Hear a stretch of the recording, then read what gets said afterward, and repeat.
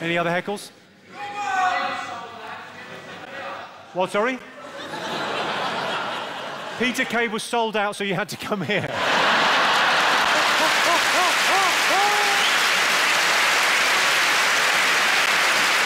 Yeah. Unlucky.